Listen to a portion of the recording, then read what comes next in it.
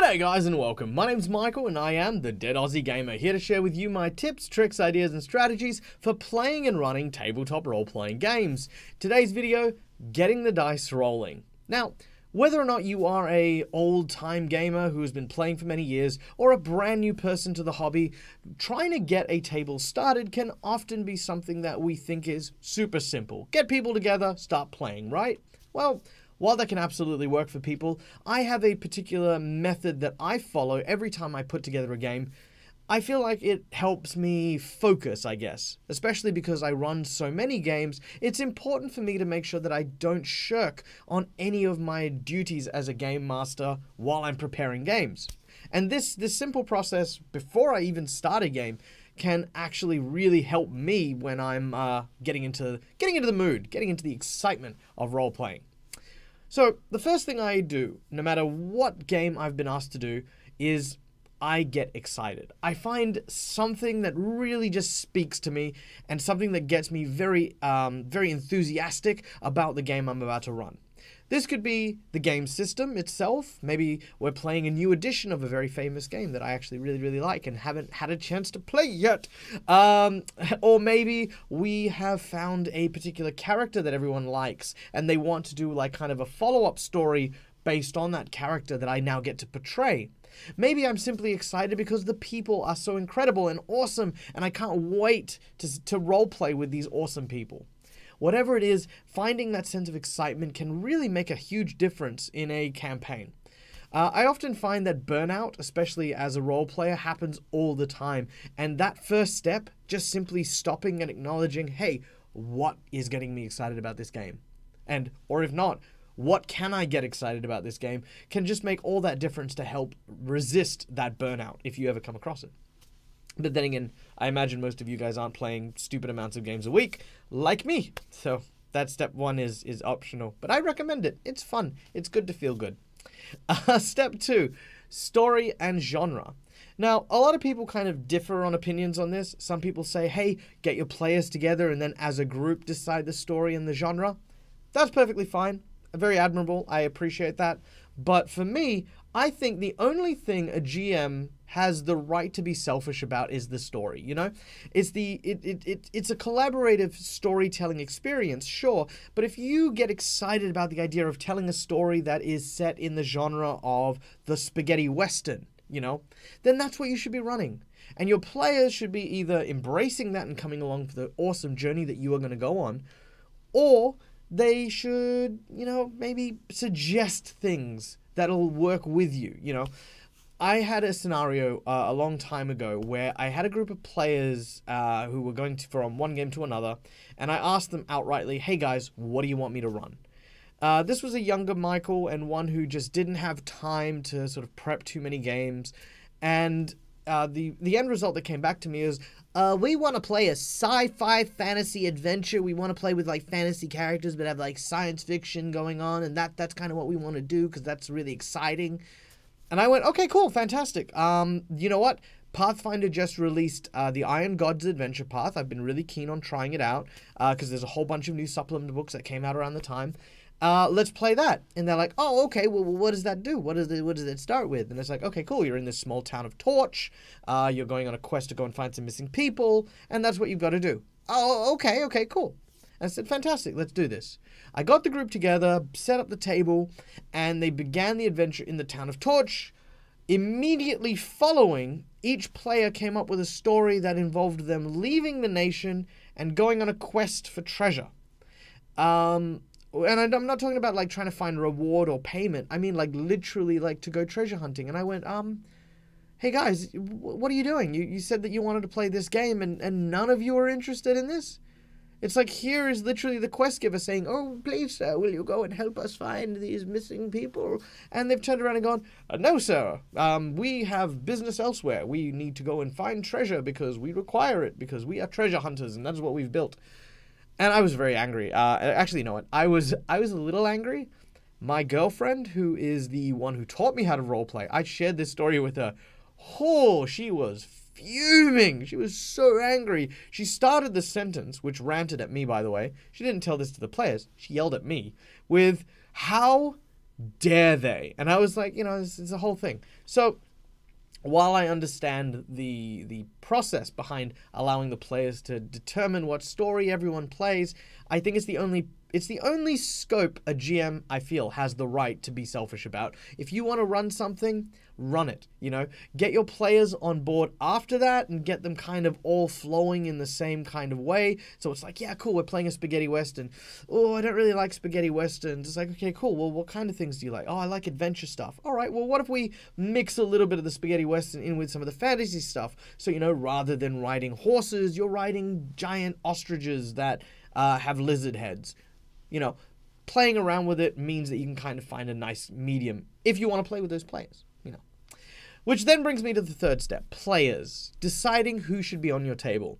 Now, the simple truth is, you should be playing with people that you get along with, right? But sometimes you play with people who are simply part of a role playing friends group. Or maybe you're playing in public, or maybe you're playing with uh, some brand new people at an Adventurers League or Pathfinder Society sort of deal.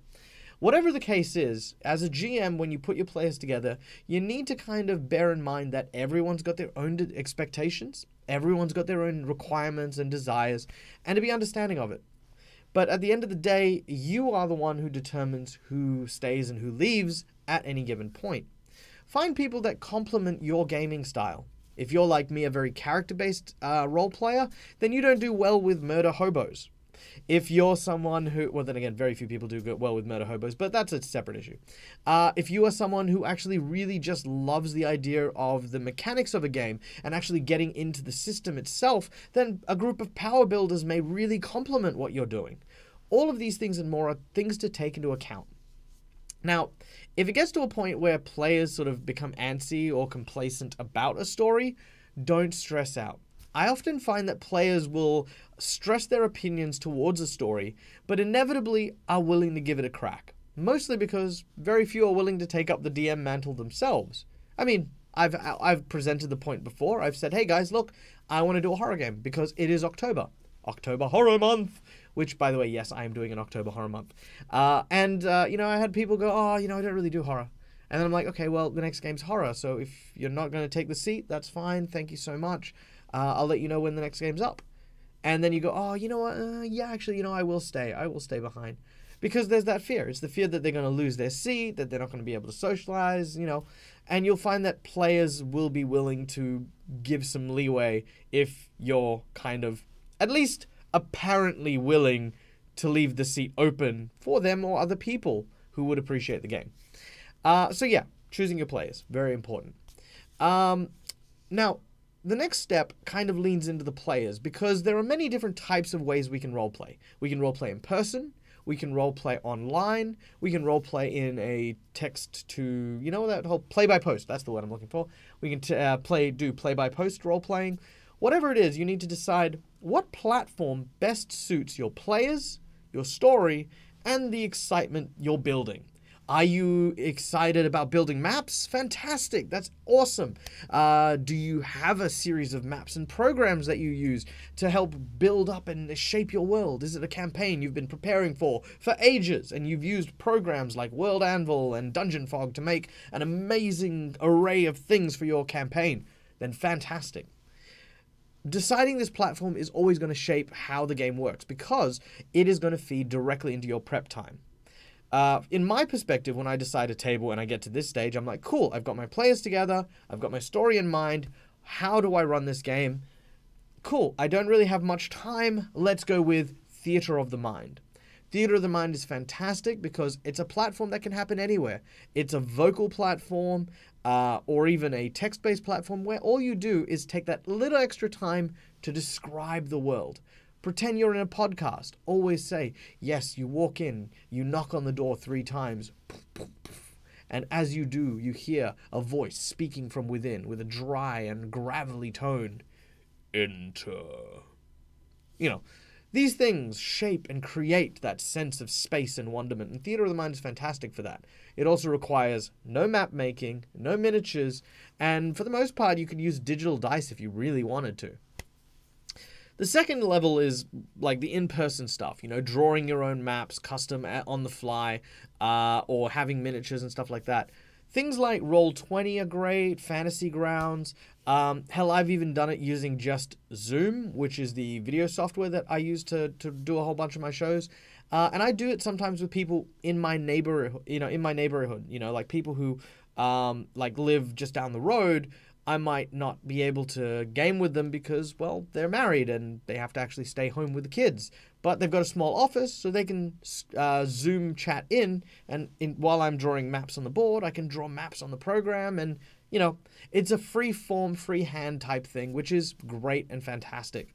It's easy to improv, it's something visual, but I always say that, you know, always always do that kind of game with people in person, you know. I, I find that that's that's the best way to go about it.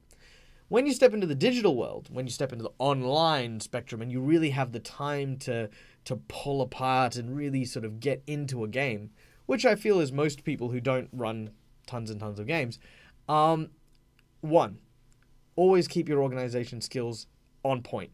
Always take notes, always keep a journal or a diary of the events as they unfold, and um, you know use whatever techniques or tricks you have to maintain and create your master plot and your adventure as it goes through. Uh, again, World Anvil, fantastic program for that. Uh, also, Guy from How to Be a Great Game Master released a, uh, a book on creating campaigns as well. Uh, I'll put some links in the description below. Go check those out if you want to use that platform. Um, but another way you can do that is through a pro- program called Fantasy Grounds. Uh, where you can upload um, like maps and stuff like that. You can upload character sheets and you can have a lot of stuff automatically generated. It turns tabletop into an almost virtual tabletop. This is what I call like the kind of advanced game. I really only reserve this sort of game to like the ones that I want to run for a very short period of time, but I want to run a very high quality game. So platform very important because uh, again, judging your time commitment. Next up is your system. Once you've decided the story, how many players and what players you're going to have, and what type of GMing style you're going to be using, choosing a game can be very tricky. What is going to complement your story? If you're playing in a cowboy western setting, maybe Deadlands is going to be a great game for you. If you're playing in a Marvel inspired superhero adventure, then Mutants and Masterminds would be fantastic. What if you're playing a reenactment of the movie It? Kids on Bikes is perfect. Finding the right system for the right game can sometimes be exactly the difference between trying to squeeze in Dungeons and Dragons into something that just doesn't really reflect the story you're making, or trying to make something that, you know, you're all kind of getting into. And if you're worried about being a GM who doesn't know how to use a system, or, you know, these are kind of unfamiliar waters you're treading, don't worry. Because if you're learning these rules anew, then chances are your players are as well. Learn together. It's part of the bonding process. So don't be afraid to mix up the system to find something that's going to be suitable for you guys and your particular game. All right, the last thing, last thing, absolutely last thing is time. Time is so important, and as you no, actually, you know what? Forget it. Not as you grow up. Every single point, every person doesn't matter if you're 10 years old or you're 50 time is always going to be uh, against you when you role play. Uh, schools, you know, you've got exams, and whenever exams crop in, you see people disappear. When people get new girlfriends or boyfriends or whatever partners they prefer, uh, again, they disappear, they vanish, and it happens. Uh, you know, you've got wife, you've got kids, you've got the dogs, you've got the mortgage, you've got all these other things in life that take you away from role playing, uh, and it's fine. What you need to do is remember that scheduling changes, scheduling shift, you know, and campaigns run for a long time. You can have one shot games, sure.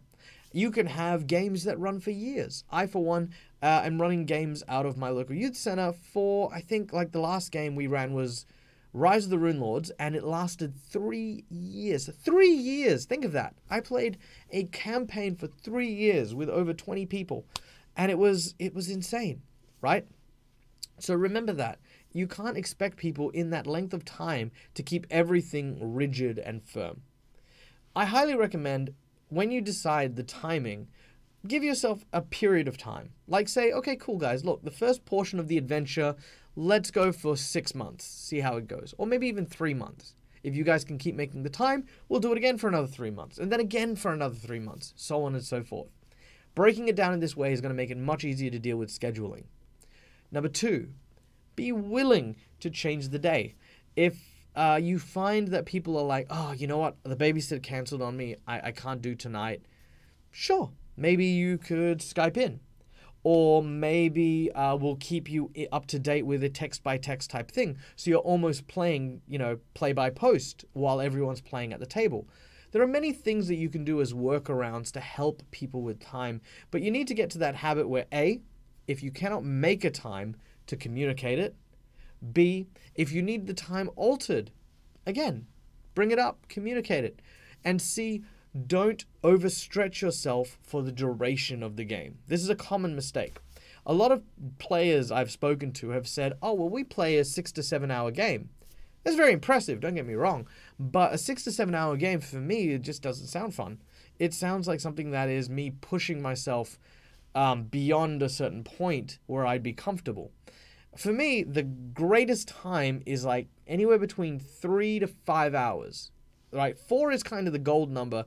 Three is solid. You know, I'm very happy with three hours. And five hours is kind of on that cusp of being too long.